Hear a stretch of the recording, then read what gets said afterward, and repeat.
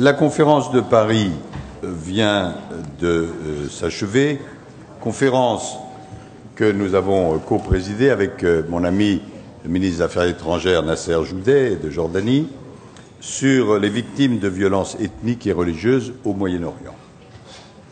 Vous savez dans quelles conditions nous avons euh, réuni cette conférence avec 60 États, 15 organisations internationales et l'idée qui, je crois, a été respectée, c'est euh, d'adresser un message de détermination.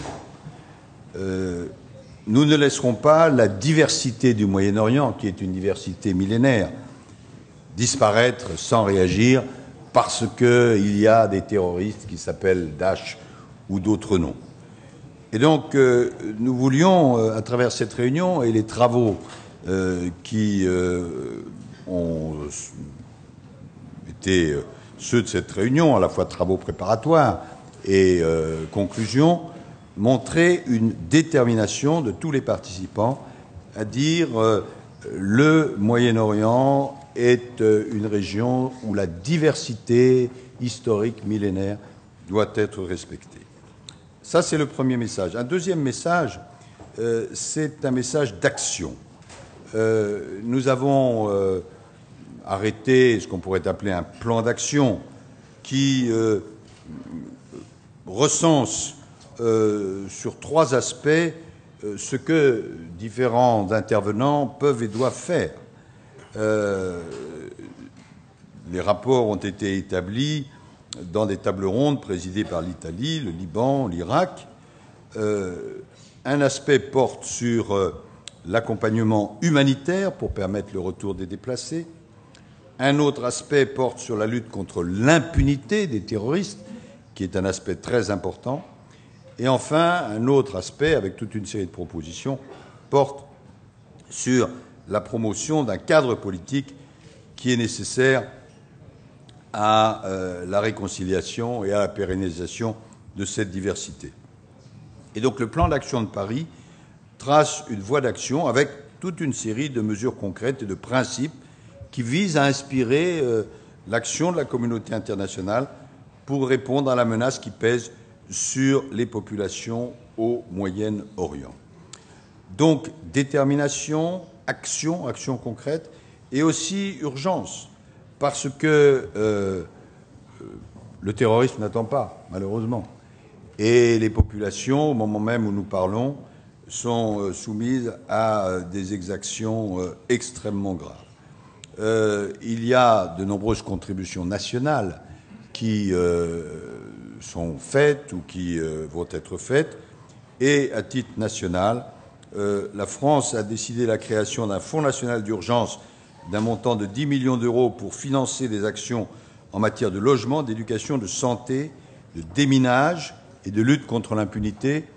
Cela vise notamment la réhabilitation du camp de déplacés de Bar-d'Arrache, qui accueille près de 9000 personnes, la construction euh, d'une école destinée à accueillir euh, plusieurs centaines d'enfants, la mise à disposition de logements pour des déplacés à Erbil en appui d'un projet de l'œuvre d'Orient et euh, différentes actions en appui des forces irakiennes et à Kobané d'aide au déminage.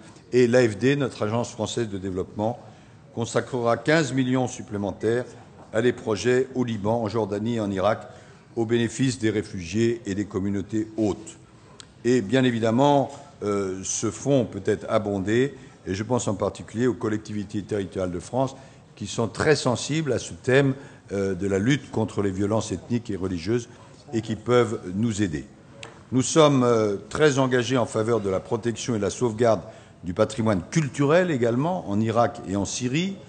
Et il y a des travaux de cartographie du patrimoine des communautés d'Irak et de Syrie, le financement de la mission de l'UNESCO sur la préservation du patrimoine en danger. De la même façon, nous avons décidé, au plan judiciaire, de ne pas baisser les bras et de poursuivre, dans toute la mesure du possible, les responsables de ces crimes en justice, à titre national, quand c'est de notre compétence, et en facilitant la documentation sur ces crimes. Et nous poursuivons notre effort pour que la Cour pénale internationale soit saisie.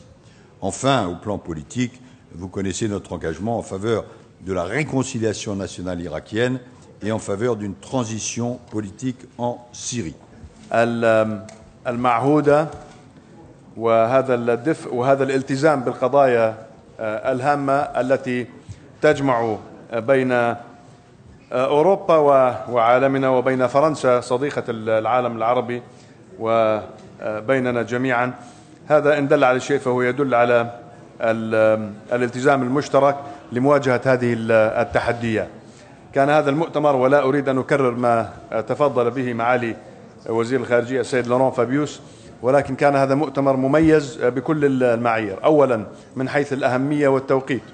فلا يوجد موضوع أهم من هذا الموضوع الذي بحثناه اليوم وناقشناه بشكل مستفيض. والتوقيت من أهم العوامل في هذا الإطار. فمنطقتنا تمر بهذه التحديات ونواجهها ولكن كما يقول جلالة الملك عبد الله الثاني بن الحسين هذه ليست مشكلة إقليمية هذه مشكلة دولية. وما يحدث في العالم اليوم وما نراه من انتشار للفكر المتطرف الظلامي وللإرهاب هي فعلا حرب عالمية كما يصفها جلالة الملك بأساليب أخرى. عندما نرى جنسيات متعددة فاقت ال 85 أو 90 جنسية تذهب كمقاتلين أجانب ما يسمى بالمقاتلين الأجانب ليقاتلوا إلى جانب الإرهاب والتطرف.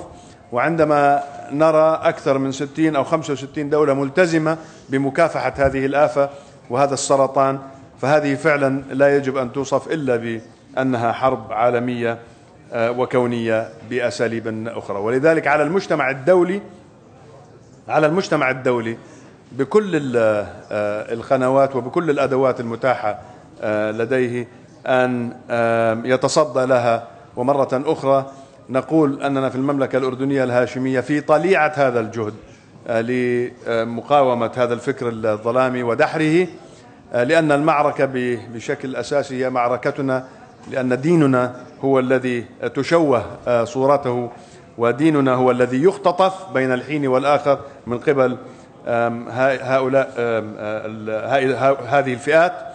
ولذلك لا نريد أن يعتقد البعض بأنها معركة الغرب ضد الإسلام فهذا أبعد ما يمكن أن يكون من الحقيقة. هذه معركتنا ولكن لأنها معركة كونية ولأنها تشمل كل الدول ولا تستثني أحد من استهدافها للمدنيين.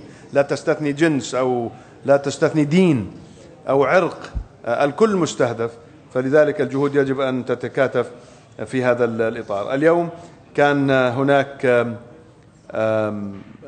محاولة ناجحة جدا من قبل فرنسا والأردن باستضافة هذه المجموعة المميزة من رجال الدين ومن رجال من رجال الدين الإسلامي والمسيحي ورجال الفكر ومن الساسة ووزراء الخارجية والوزراء والمسؤولين من المنظمات الدولية المختلفة للحديث حول هذا الموضوع وتقسيم العناوين إلى مائدات مستديرة من حيث البعد الإنساني والبعد السياسي والبعد القانوني القضائي كان تقسيما موفقا.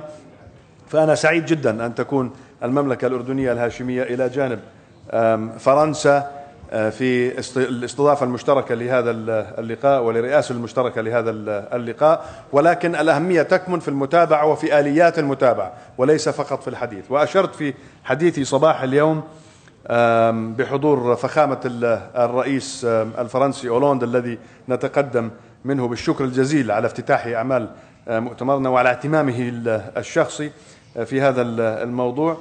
تحدثنا بأن الأردن دائما يترجم الأقوال إلى الأفعال ودائما يبادر مبادرات صاحب الجلالة الملك المعظم من رسالة عمان قبل أكثر من عقد من الزمان وكلمة سواء والأسبوع الأسبوع العالمي للوئام بين الأديان الذي تبنته الجمعية العامة للأمم المتحدة.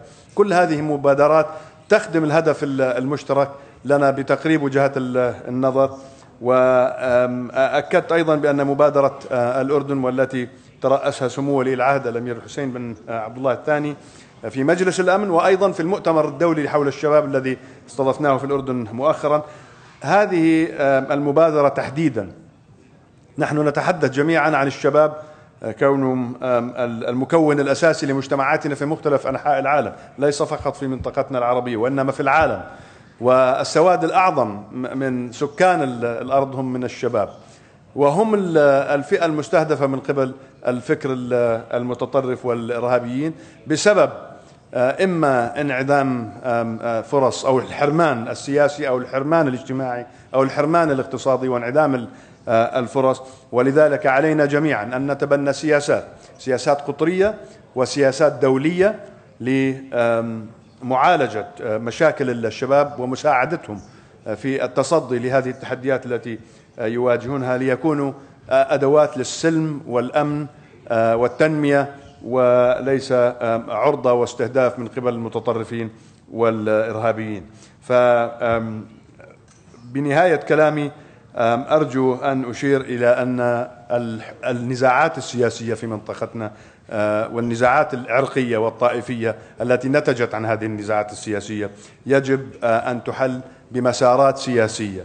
يجب أن ننظر إلى جذور النزاعات يجب أن نعالج جذور هذه النزاعات حتى نقفل الباب ونغلق الطريق أمام كل المتطرفين في محاولاتهم لاستغلال هذه الظروف التي تعيشها بعض بلداننا. هذه الطريقة الأسلم لمجابهة الفكر المتطرف. هذه الطريقة الأنجع لدحر هذه التيارات.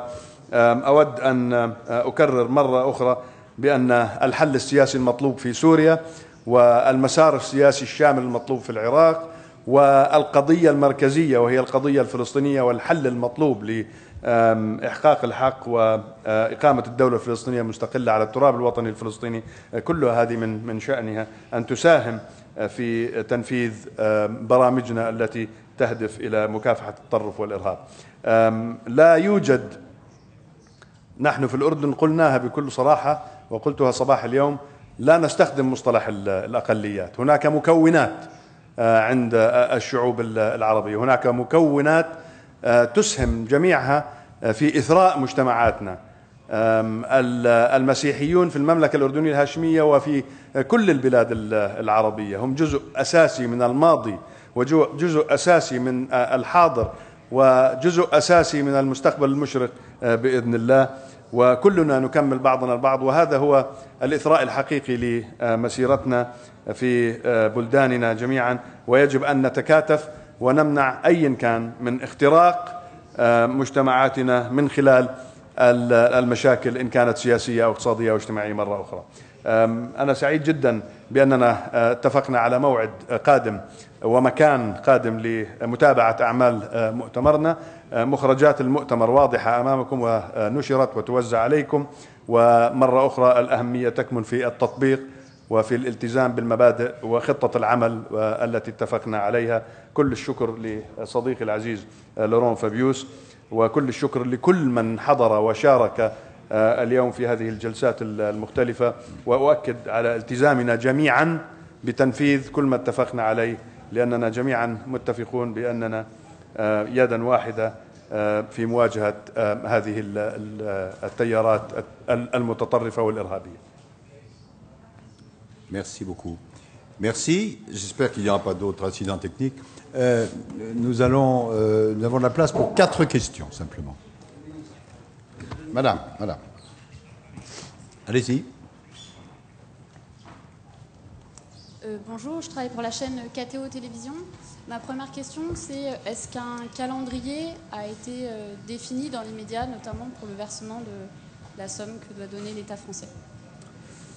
Alors, le plan d'action ne comporte pas de calendrier précis, il comporte une série de chapitres. Ensuite, c'est à chacun de piocher dans euh, ces chapitres pour euh, appliquer ce plan d'action. Et en ce qui concerne euh, les engagements de la France, ils seront tenus sans délai. Deuxième question, monsieur, oui. Vous, nous avez dit avec effet d'annonce le, plan d'action, enfin le débloquement, vous allez débloquer 10 millions d'euros, plan d'urgence et 15 000 de l'AFTI. Euh, Est-ce qu'il y a eu d'autres annonces aujourd'hui? Est-ce que vous avez eu des engagements d'autres? Vous êtes les co-présidents on ne voit pas de chiffres, on, se demande d'où viendra l'argent pour le plan d'action, ou est-ce que votre travail ne commence maintenant? Oui, le travail est au commencement. Euh, l'objet de cette réunion n'était pas de faire une conférence des donateurs. Euh, simplement, la France, en tant que pays hôte, a estimé utile d'apporter son écho. Mais bien évidemment, comme ça a été souligné, le plan d'action nécessitera des engagements financiers. Pas toutes les actions. Il y a des actions qui ne nécessitent pas d'engagement financier. Mais il y en a d'autres qui nécessiteront des engagements financiers. Comme l'a dit Nasser Joudet, nous pourrons faire le point sur tout ça, le bilan, euh, lorsque nous nous réunirons l'an prochain euh, en Espagne. Troisième question, Madame? Monsieur le ministre, deux rafales ont fait ce matin un premier vol de reconnaissance au-dessus de la Syrie. Est-ce que vous pouvez nous en dire un petit peu plus sur le calendrier de frappe éventuelle française sur ce territoire? Certainement pas. je, peux, je, peux, vous confirmer que les décisions qui étaient prises par, et annoncées par le président de la République hier sont suivies des faits, puisqu'il avait été dit euh, qu'il y aurait des vols de reconnaissance, mais il a été ajouté que euh, ces vols de reconnaissance détermineraient le moment venu telle ou telle action qui devra être prise. Et euh, le moment sera venu lorsque nous vous le dirons. Madame.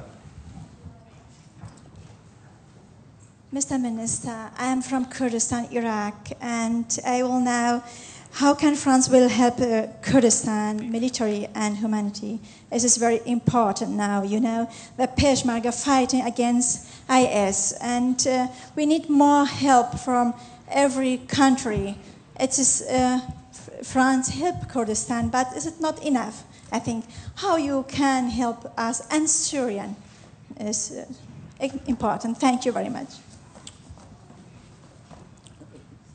Problème se pose d'une façon générale. Nos amis euh, kurdes irakiens euh, font un travail très important. Euh, vous savez que les relations entre la France et l'Irak et entre la France et les Kurdes d'Irak sont excellentes et nous apportons effectivement des aides. et il y en aura d'autres sur le plan humanitaire. J'ai fait allusion à un certain nombre d'actions que nous pourrons développer à Erbil. Euh, mais d'autres pays agissent aussi dans le sens. Euh, ce qui est en question, c'est que tout le monde se rassemble, c'était le sens de notre réunion d'aujourd'hui, pour euh, adopter des actions convergentes dans la lutte contre le terrorisme, contre Daesh, et pour permettre à la diversité des communautés, des composantes, pour reprendre l'expression que Nasser a utilisée, de se sentir à l'aise et de pouvoir être respectés. Et cela vaut bien sûr pour les Kurdes d'Irak. Voilà, merci infiniment et à très bientôt. Merci.